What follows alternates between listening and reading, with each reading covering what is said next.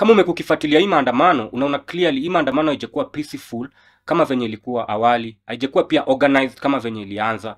So before ni explain something nataka tu usikize hii clip ya mike sonko akiongea about maandamano ya odm venye walikuwa na disrupt hiyo maandamano. Mimi nimefanya kazi na system ya Mheshimiwa Uhuru Muigai Kenyatta, na mimi kuna kitu nataka kutoboa leo. Kutoboa ama nisitoboe? Sasa hii tumeona deep na system wameanza kuchoma magari, isemekani ni mahasa wanachoma magari. Mimi nataka kutoboa niseme hivi 2017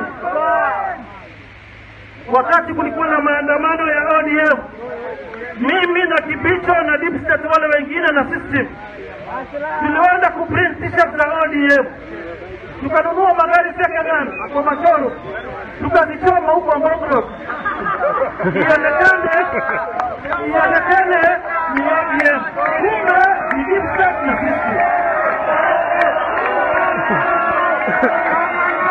Kwa hivyo mimi nakwambia wewe Kibicho, wewe Matiang'i, ujinga wenu, upuzi wenu, mwache kuharibia hasa yetu.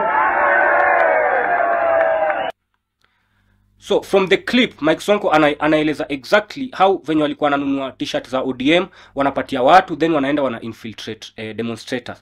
That is exactly what is happening right now. The government inatuma goons looters wakuja wa infiltrate peaceful demonstrators. Wakisha kuja hapo hivyo unapata au looters hata karau hawana shida nao. Karau wanaona tu hao looters wanaiba vitu wanaenda nazo nini.